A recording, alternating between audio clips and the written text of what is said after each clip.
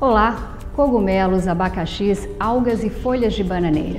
Esses não são os ingredientes de uma receita, mas os da roupa do futuro. Especialistas em moda estão tentando dar uma mão ao meio ambiente, produzindo tecidos inovadores que podem absorver o CO2 da atmosfera.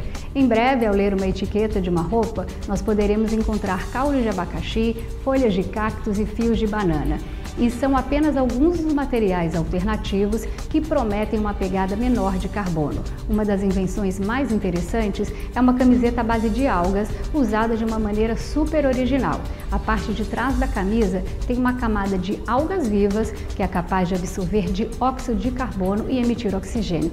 Em outras palavras, a camiseta realiza a fotossíntese. No entanto, as instruções para o cuidado são diferentes das roupas clássicas, elas não podem ser armazenadas no armário escuro.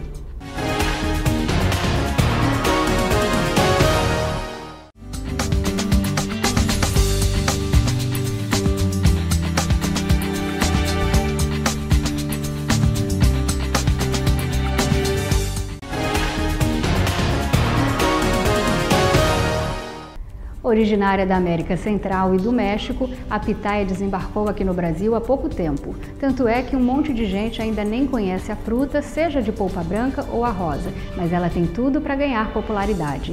A pitaia fornece boa quantidade de água e de eletrólitos, substâncias que nós perdemos no suor. Além disso, as duas versões têm poucas calorias e baixo teor de açúcar.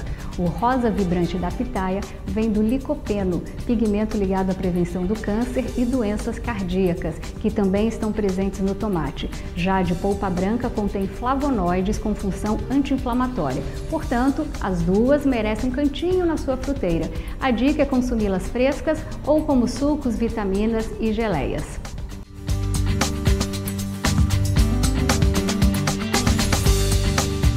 Muito se ouve sobre os atributos da polpa do mamão, mas você já parou para pensar nos importantes nutrientes das sementes? Bom, as sementes da fruta são ótima fonte de fibras.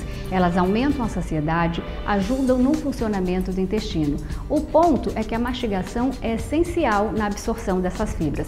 Agora, se o gosto amargo for um problema, é só experimentar triturá-las e colocá-las no iogurte salada de frutas. A casca, por sua vez, também merece um destaque. Ela tem bem mais fibras, proteínas e potássio do que a polpa. E se quiser sair do óbvio, inclua em sucos, vitaminas e receitas de bolo.